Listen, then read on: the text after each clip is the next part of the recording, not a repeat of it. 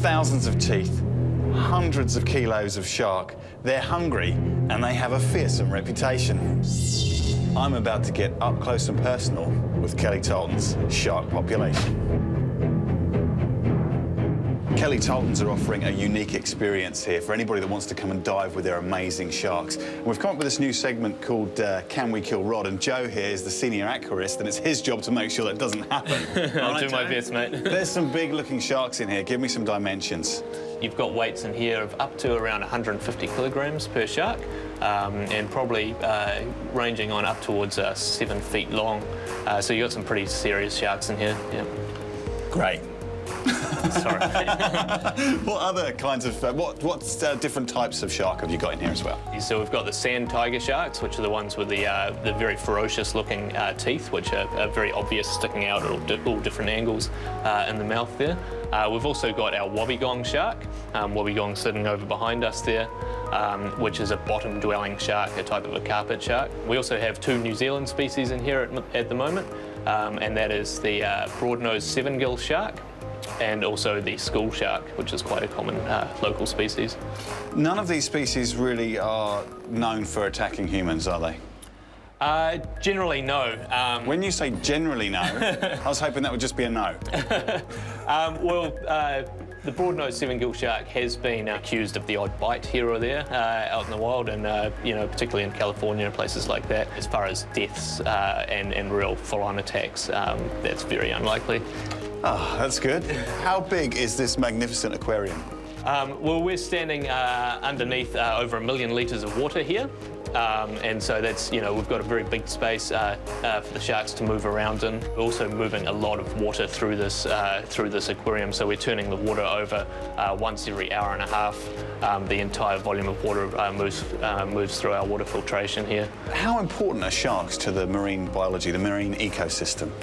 Yeah, well, sharks are really uh, quite important species. They also keep everything essentially in balance. As soon as you start um, removing one aspect from a system, uh, everything else can become out of balance.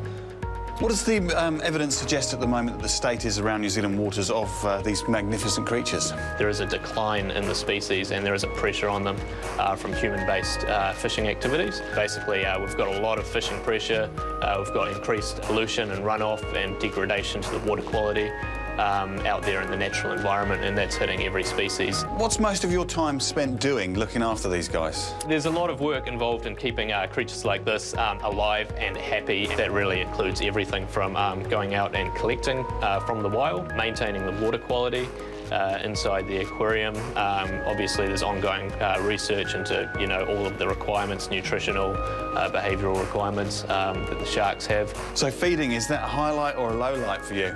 Uh, most definitely a highlight. You know, it's something we look forward to uh, to every time that we do it, and it's done twice a week. So it's um, it's uh, yeah, Tuesdays and Thursdays always exciting time down here at Kelly Tarlton. So we prep up all the fish and then uh, jump in there and hand feed those sharks. It's pretty cool. Luckily, it's Wednesday. Does that mean I don't have to do it? That just means they're hungry though.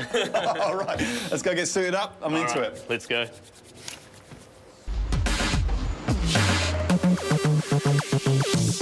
Bowels of Kelly Tarlton's now behind the scenes. This is where it all happens. This is Andrew, my dive instructor for the day. What's the most important thing I should remember when diving with sharks?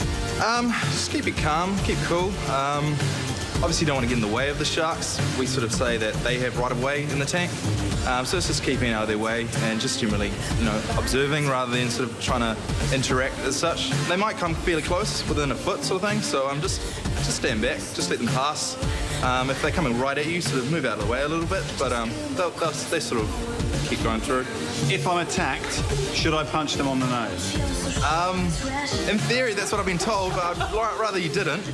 Um, I don't think they will attack, but in, in, in the wild, maybe. Have you ever had an accident? Not me, no, no. what does not me Not mean? me. Actually, it wasn't you I was worried about, Andrew. Um, I've heard stories, but no, nah, no accidents, nah, nah. it's a good part of your job. Yeah, I love it. So Yep. I'm looking forward to it. Yep, should be good. Let's do it.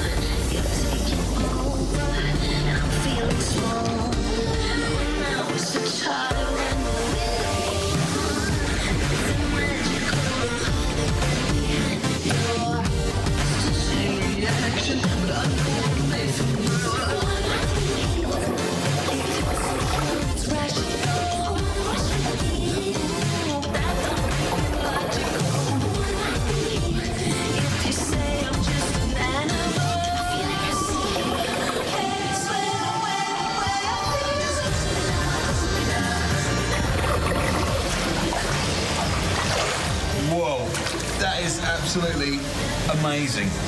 In fact, it's slightly unbelievable that you are that close to those sharks. I can also reveal they are one third bigger when you're in the water next to them. In fact, they're 100% bigger when you're in the water next to them. I think I was quite blasé about this. I thought, oh, you know, diving with a few sharks. Well, they're pretty big. They don't mess around. They sneak up on you as well. There's a nurse shark in there just came right past my face. It got to about that point and then gave a flick of the tail. And you can feel it. You can feel the power of these awesome creatures. It really is an extreme shark diving experience.